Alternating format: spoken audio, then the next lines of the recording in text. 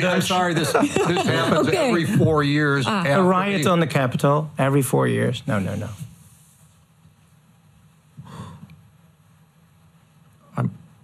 If I could ex- finish, Please. I just, you know, it happens every four years when a political party loses an election. The Republicans lost the White House, they lost the House of Representatives, and they've lost the U.S. Senate.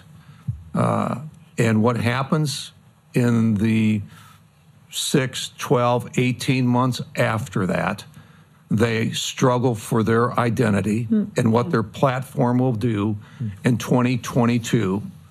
Uh, and they start in 2022, they start talking about who will be leading the party in 2024, and they go through this process. This is not drama. But that Uh, and I'm sorry, I, I just have to say, I think your comment was extremely rude.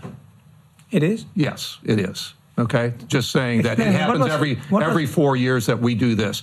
I think No, no, I've- this is- we've made it extremely clear that this is a horrific act. It has not happened since 1814, and then it was done by the British, who we were at war with. This is not America. Okay. Okay. Uh, and okay, I- to make it good with you, I've got a little present for you. We go back no, to the I, 80s. I, I don't. I don't need a present. But uh, what I, th- th- I'll tell you, the present I would really appreciate Hmm? uh, is some honesty and decent treatment. Uh, like I said, I think I think it was very rude, um, and you know, I, I, I, I just, I, I, I'm, I'm offended by it. Okay, but I, w- I w- would like to go back to the conserv- conservative revolution in the 1980s with Ronald Reagan, where it maybe all started, maybe even for you. Let's have a look at the shining hill, uh, city on the hill, please.